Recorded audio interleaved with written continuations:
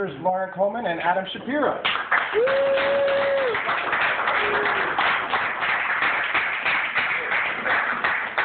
Hit the front whenever you want. I got a little something for Lauren here whenever you want as well. Cool. Hi, everyone. Thanks for coming. Yeah. Questions? Um, oh, I was trying to think, get that uh, classroom scene. That's not good. All day. Kids are funny because uh, every time we, we came in, they like made up their own lines, and they would say it like each time, like they knew that it would get in there. And um, after times the songs, they were like, again. but they were awesome. though. It was a good day. It's my favorite song from the movie.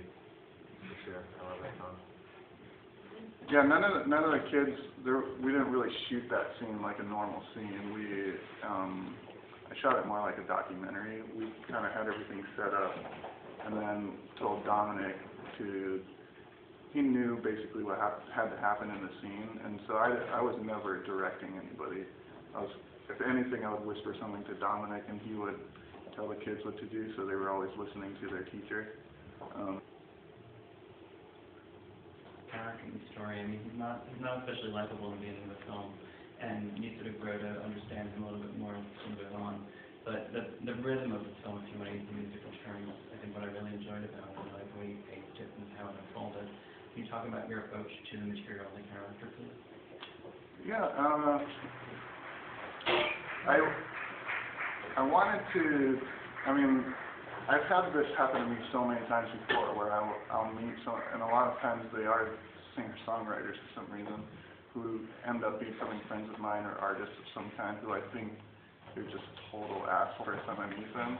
And there's always, and, and then at some point, um, I find out that we're like, they're amazing, wonderful people, and I just, uh, and we're really good friends, and then I think back to the moment where the shift happened, and I saw that they're either just insecure or there's something about them that, that puts up that dick and, and so that's, that's where I think that when I started writing, why I wanted to tell a story of like, of a guy who, we actually toned him, surprisingly, we toned him down with certain things that we cut of the movie, because I wanted him to be, I wanted you to just hate his guts at the end of the first act, and then as soon as the sisters arrive, and soon as you see like the home video footage, you, you just start seeing another side to this person, and seems to work, I mean, people usually hate his guts at the the first act.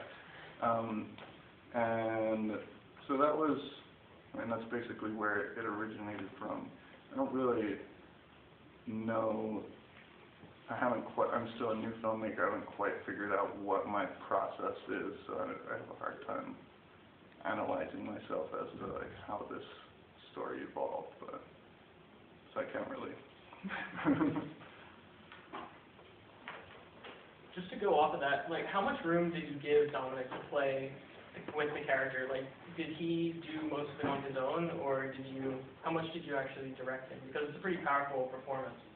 Um, there was, yeah, I mean, Dominic was, was on board from the very beginning. I wrote the piece for him.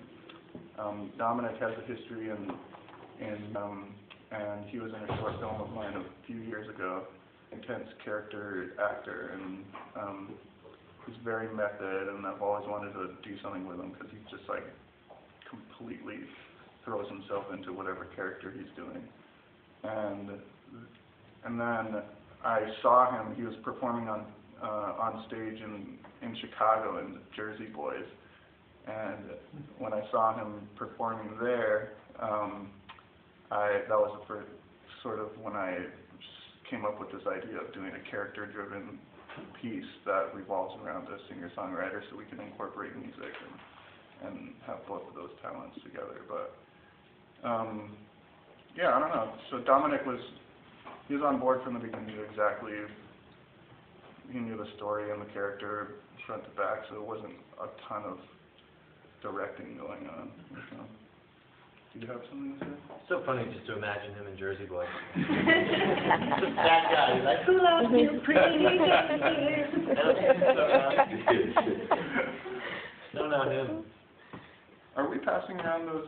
um, Oh, no, Oh, sorry, yeah. We're gonna be passing around clipboards. If you like the movie at all, please put your email address down and we'll just keep you updated. We're gonna be doing a self-release and we're just trying to get as much support as we can of the movie.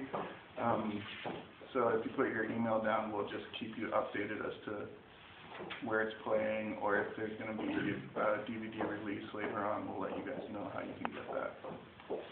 Yeah, um, I actually lived for ten years, like five blocks away from the Casbah. Oh, So, nice. so, uh, you know, I, I had read that it was filmed there and everything. I wonder how, uh, did you film like during the daytime? Was it a special show? And were there other bands on the bill with, um, you know, the, At, at the Casbah? yeah, Casbah? Yeah, he, uh, Tim just gave, we, we talked